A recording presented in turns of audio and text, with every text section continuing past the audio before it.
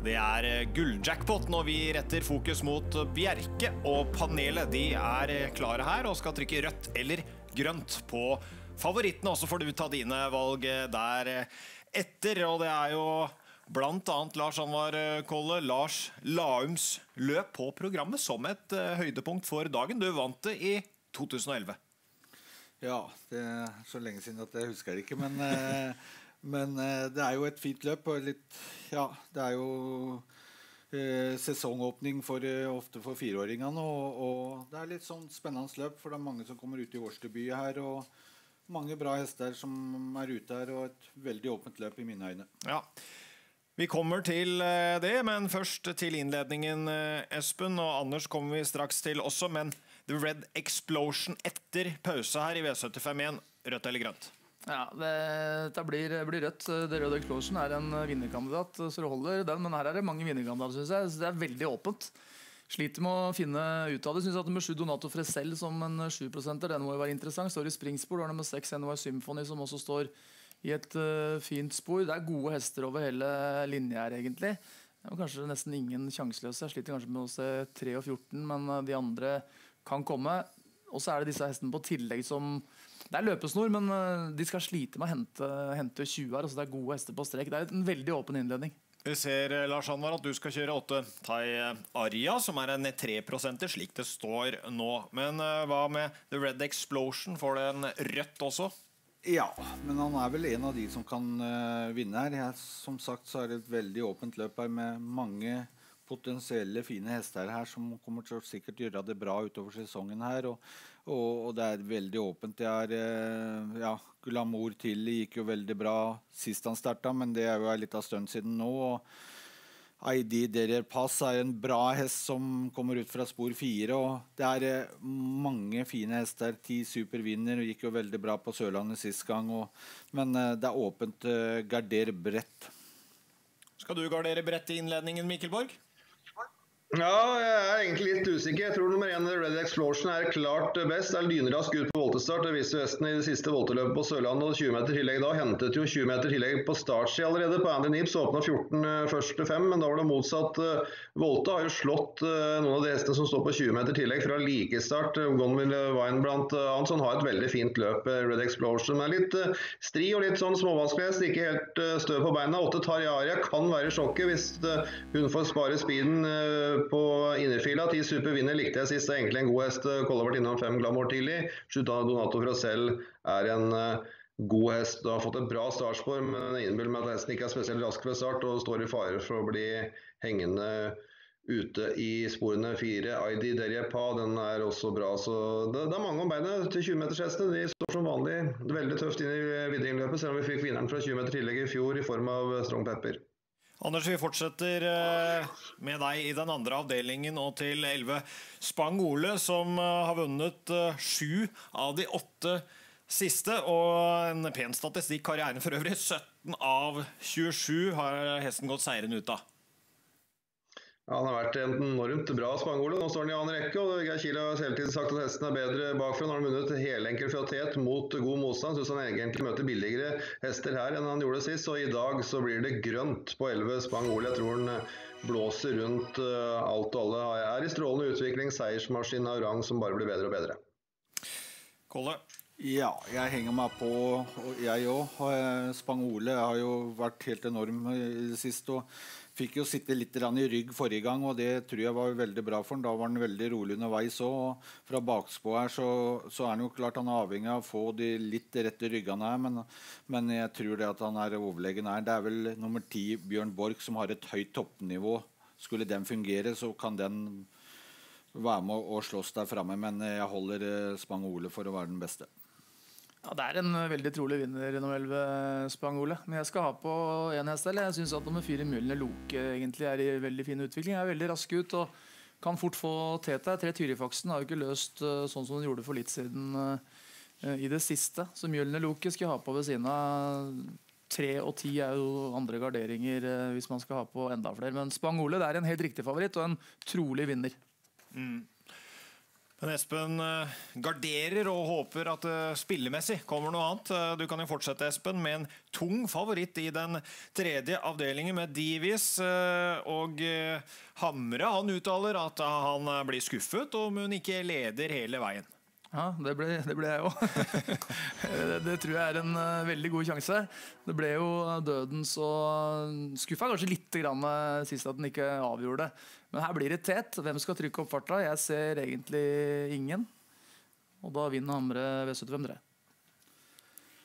Ja, hun tar teten tidlig her, og da leder hun hele veien. Eh, hun fikk et tungt løp forrige gang, men eh, holdt jo for så vidt ganske bra da. Så nå får hun tet antageligvis veldig tidlig her, og, og, og da blir det vanskelig å gjøre noe med.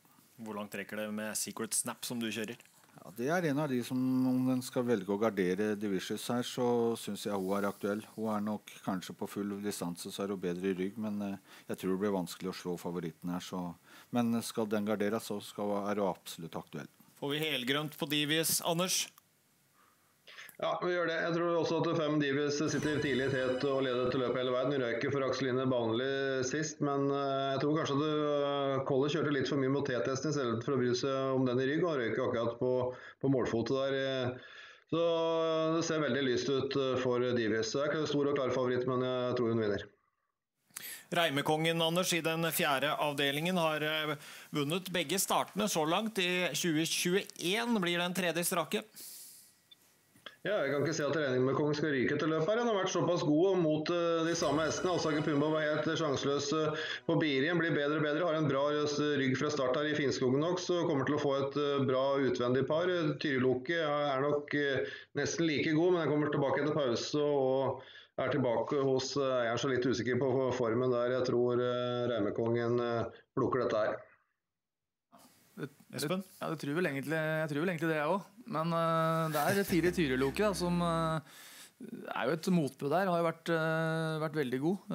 Nå kommer ut til pause nå, det er jo litt usikkert. Men det er jo den først og fremst imot Reimekongen, som også har en veldig god vinnersjanse. Jeg vil gardere Reimekongen her, for jeg tror Tyriloke kan sitte tidlig i tet her, og Alsaker-Pumba kan få et fint løp her på innerspor her og spare speeden. og Jeg tror ikke det er så veldig mye som er skille på de, så jeg tror Reimekongen er litt avhengig av tempo og må fort vekk gjøre litt grovjobb sjøl her. og Både Mitor den gikk noe fryktelig på Forus forrige gang etter to, to galopper da, så, og, og, Torben kommer til å bli helt glemt denne gangen. Så eh, ja, jeg vil gardere Reimekongen. Det er en fire-fem hester her som kan vinne, spør du meg. Mm. Kolle, du kan fortsette i den femte avdelingen, hvor vi leser oss opp i fagpressen med flere optimistiske uttalelser rundt omkring på hestene. Men det er eh, sånn sett en ganske tung favoritt. Seks av ti kroner, slik det står nå på en Gonzales BR. Ja, jeg tror han greier å forsvare sporet her. Det er å holde Positano ute på startsida her. Greier han det, så tror jeg løpet er kjørt her. og Det er billig egentlig motstand her, så Gonzales ble defensivt kjørt på, på, Sørlandet forrige gang og gikk fulltanka i mål da, så jeg tror Gonzales BR eh, han er, han er ganske god fra start òg, så jeg tror han leder hele veien. Hva tror du, Espen? Ja, jeg tror at det er nok en gang en god vinnersjanse for uh, favoritten. Men det er dette med startsida. Med tre Positano er veldig rask ut. Men se på sporet til Gonzales BR de fem siste startene. Hva står det for noe? 8, 7, 12, 12, 8. Så det har stått vanskelig til egentlig eh, hele veien. Nå har det vært uh, litt revolteløp og sånn der også, selvfølgelig. Men uh, Gonzales BR, hvis det beholder teten og ikke blir kjørt av verden, så er det en god vinnersjanse. hvis det blir kjøring, eller tre Positano kommer seg foran, så er det jo spennende med nummer ni, Guadimon, som kommer ut etter lang pause, vært operert. vanskelig å vite hvordan formen trenger kanskje, kanskje løp. Du har både fem Luxor Brodde, seks Income og sju Etokka, som absolutt er gode nok til å vinne hvis det blir trøbbel for favoritten. Mm, og da kan det fort ryddes unna bonger. Skal du spille favoritten alene, Anders? Ja. Nummer én Gonzales BR han eh, holdt tet fra innerspor på Momarken på 1600 meter. Det er eh, en prestasjon i seg selv, for det er ikke alltid like enkelt. Og her er det nummer tre Positano som er verst på startsida. Etoka står langt ute. Jeg tror ikke den klarer å nå teten eh, derfra. Så en Gonzales BR han har en topp mulighet til å lede hele veien. Espen, hva tror du om eh, Lars Laums løp når vi nå fikk overvekt av grønt i den femte? Hva sier du om favoritten Brennebanker her? Jo, Den har en god sjanse, den òg. Men du har eh, nummer 11 Trollstolen som står 20 eh, meter bak, så det blir, det blir rødt. Men Brennebanker har en god sjanse til å vinne løpet. Trollsolen er vel det største motbudet. Og så er det spennende å se Lomebrage tilbake igjen i banen. Det står trøblete til her med langt uh, tillegg, men det er jo veldig speedy. Skulle det bli litt uh, rett på med ryggen og sånn, så kan det jo Det er ikke helt umulig det heller. Ni Våler Nikolai er en garderingshest, uh, men først og fremst sju og elleve. Jeg syns eh, Brennebanker har galoppert mye i det siste. Eh, klart eh, Går han feilfritt, så har han sikkert en bra sjanse, men Trollsolen bak der fra 40 meter, Våler Nikolai og ikke minst nummer åtte Pavefaks er jo ikke så lett å sveive inn, men 2-6 Mulig det kan bli litt sånn halvtunge forhold i morgen, og det tror jeg kan eh, være en fordel for Pavefax. så Eh, se litt opp for Skulle Pavefax gå feilfritt, så tror jeg den kan overraske denne gangen. Hvor høyt oppe rekker Vallask som du kjører? Litt på vei opp formmessig her, men det er tøft imot. Og, og har vel ikke vist eh, at det er noen vinner på V75 i den klassen her enda. Lars Lahmsløp som en hest kun kan vinne én gang, og 14 år gamle Lomebrage deltar for første gang, Anders, men rødt eller grønt på brennebanker. Nei, nå brukt fire bankere, så da får du bruke rødknappen. Han eh, er ikke helt stø på beina brennebanken. Nå har han fått et veldig fint startspor, så han bør jo komme seg feilfritt i gang. Men stoler ikke helt på han. Det er mange kandidater bak der. og Kolla har nevnt den som er kanskje mest interessant. Åtte Pavefax på en lang distanse og litt krevende forhold. Det er en utrolig sterk hest. Våler Nikolai han gikk vel helt greit i den siste starten. Vi har sett den bedre før. Lommebrage etter lang pause pleier å være god etter pause, men har jo ganske tunge forutsetninger her. Trollsolen den syns jeg var veldig god på Sørlandet sist. Eh, ja, Det klaffer maks. Det er en del bak der. Som sagt så blir i hvert fall ikke Brennebanker noen banker denne runden. Kjør på med strong case også, Anders, i Sigvart Petersens uh, minneløp med 60 000 til vinneren. Den får også rødt. Han var bra i den siste starten. Sleit veldig med travet rundt den siste svingen, og det var akkurat så det gikk fikk, eh, akkurat komme seg ned i første spor. Det var nok til at eh, Dalen klarte å støe en eh, rundt. Nå som favoritt mot såpass gode hester, så går jeg imot Admiral Nick. Han trengte vel muligens løpet i kroppen sist. Fem, ikke fem, men seks. Global Undefedded har et bra startspor, raskere start. Taino Destrier liker den distansen. De Harley syns jeg var kanongod sist på Forus. Voss What's of Flying SS er ikke helt umulig. Hesten var tross alt toer i, i, i gulldivisjonen uh, sist, så vi garderer bredt i de to siste avdelingene. Bred gardering, Kolle? Ja, her er det flere som kan vinne. Så klart, Strong Case kan jo fort vekk lede hele veien her. Han er god ute egentlig på voltestart. Han var ute i et langløp uh, i, i, her for en god stund siden som han egentlig forsvarte sporet ganske greit da. Så, uh, men uh, nummer to, Tegn og Destrier, gjør jo det ene toppløpet det, etter det andre. og Fra 20-meteren så er det jo Harley og Admiral Nick. Det er to veldig bra hester. og Kanskje nummer seks Global Undefeated. Hvis den skulle kanskje få tet fra et veldig bra spor, så kan den kanskje lede lenger. Den syns jeg har heva seg flere hakk nå i det siste. Så eh, litt åpent løp er det her, så jeg vil gardere litt. Ja. Det vi er jo mest interessant spillmessig, sånn som det står nå, det er nummer ti Harley, som var knallgod sist. En 5% Det vil nok forandre seg en del. En strong case uh, var jo bra sist, den. Uh, tre next game uh, var jo favoritt i det løpet. Nå er ikke hesten Nå har bytta om helt. Mm. det går opp og ned. det er ikke helt sjanseløs for den del heller. Du har seks Global Undefedded som også kan, kan være med.